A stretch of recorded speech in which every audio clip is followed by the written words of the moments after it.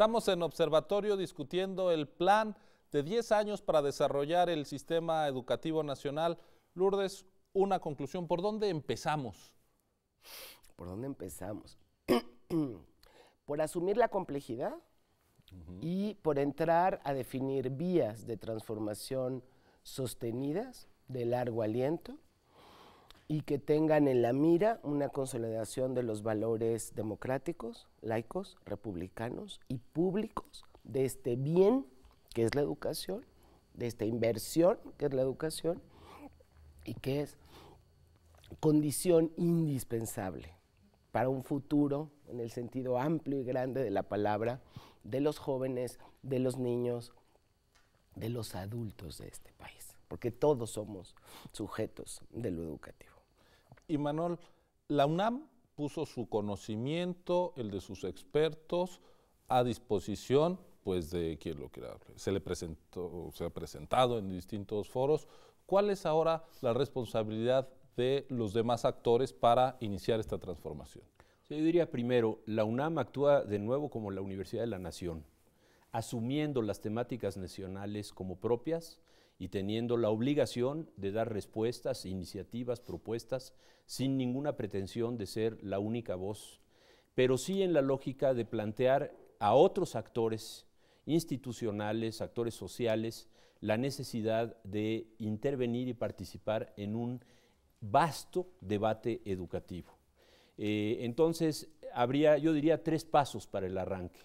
Uno, una interpelación desde la universidad y el conjunto de la sociedad al gobierno mexicano para que asuma a plenitud el tema de lo educativo, ampliándolo en todos sus aspectos y eh, tocando las temáticas centrales de lo educativo. Segundo, una amplísima convocatoria al debate nacional que pudiera converger en un evento o en un conjunto de eventos de carácter nacional, con una gran presencia magisterial, con presencia de estudiantes, de grupos de profesores, de especialistas educativos, de, autoridades gubernamentales responsables de lo educativo, para ir a eso que llamamos nosotros recrear el sistema, el proyecto educativo nacional.